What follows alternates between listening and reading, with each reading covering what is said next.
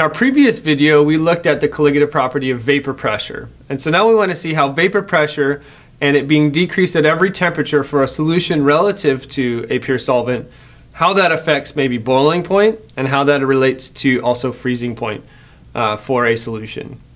And so if we go back to how we define boiling point, remember this is the temperature where the vapor pressure of what's going to be boiling is equal to the atmospheric pressure. And we typically talk about this with respect to the normal boiling point, right? And so that's where atmospheric pressure is uh, one atmosphere.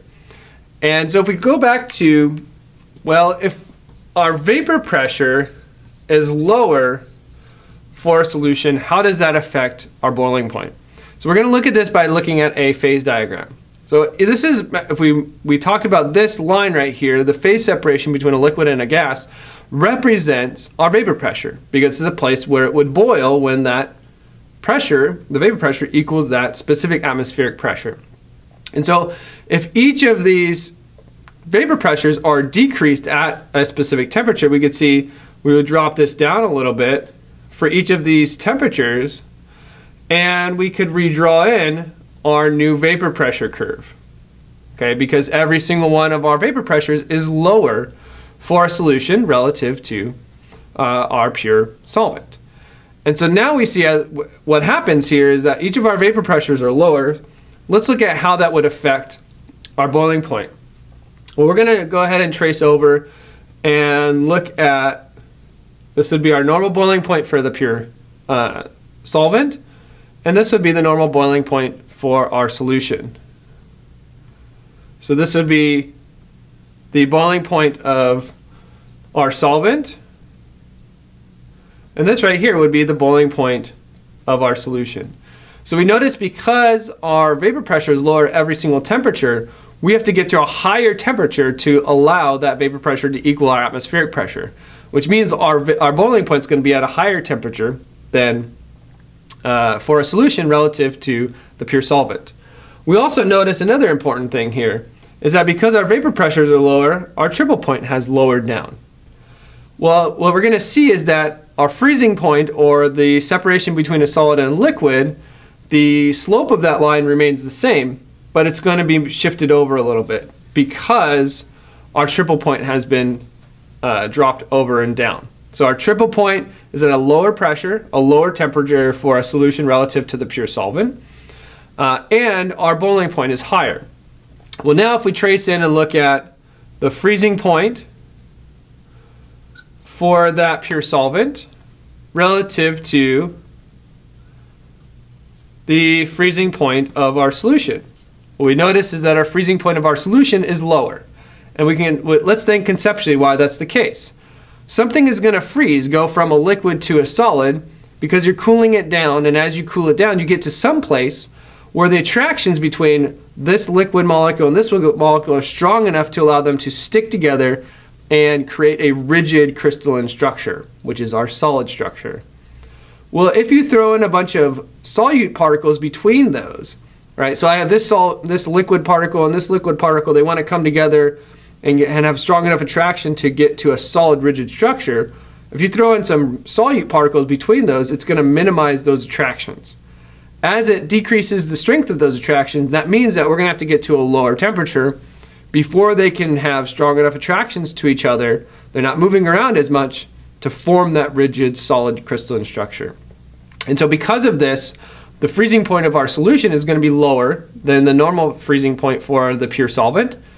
And then because of the, the vapor pressure depression, the boiling point of our solution is going to be higher than the normal boiling point of our pure solvent. And again, kind of how we looked at uh, vapor pressure and how it's depressed, we can uh, mathematically represent this and say the change in our freezing point, okay, so that's delta freezing point, is equal to a constant that relates to our freezing point times the molality of our solution and then times what we call the Van't Hoff factor. Okay, uh, the Van't Hoff factor tells us how many solute particles we get for every mole of solvent that we dissolve. Solute, excuse me. So if I dissolve a molecular compound like sucrose, if I dissolve one mole of it, I get one mole of solute particles. Whereas if I dissolve one mole of sodium chloride, as I dissolve the sodium chloride, it breaks up into two pieces. And so every mole of solute sodium chloride dissolved, I get a chloride ion and a sodium ion. I get two moles of solute particles. And so we'd say our Van Hoff factor there would be two. And so we can relate it to the number of pieces that it breaks up into as it's dissolved. Okay. Here we have molality. Molality is moles of solute per kilogram of solvent. So we notice that this measurement of, of a um, concentration is very different from other concentrations that we use. We typically talk about amount of solute per amount of solution. This we're just looking at the ratio between solute to solvent. So notice this is not the mass of our solution, it's the mass of our solvent. Okay? And then our KF is our freezing point depression constant.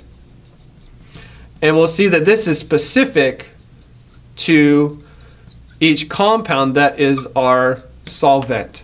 Okay, so water will have a specific freezing point depression constant, methanol will have a specific freezing point depression constant, and so this has to do with the specific solvent that we're looking at, right? Because our colligative properties only deal with the change in freezing point or boiling point or vapor pressure of our solvent, right? The identity of our solute particles don't matter. That's why we call them colligative properties, okay?